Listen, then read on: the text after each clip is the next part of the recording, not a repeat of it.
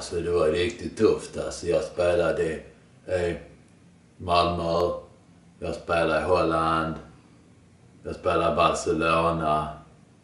Det var en jävla massa siesta. Jag spelade i Paris. Hur fan får fransmännen säga bara.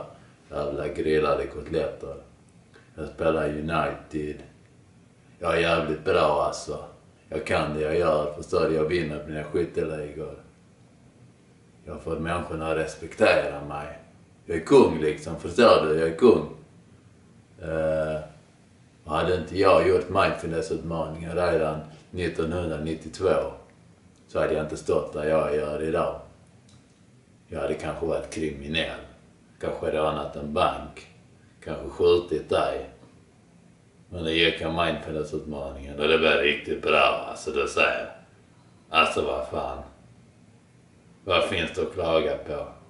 Jag är hyllad. De, de ska göra statyer av mig överallt. De ringer Zlatan, vad fan, vi en staty.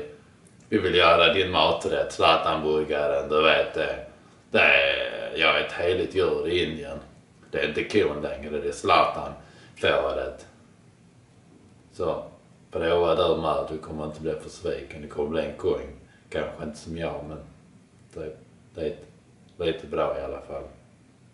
Chao.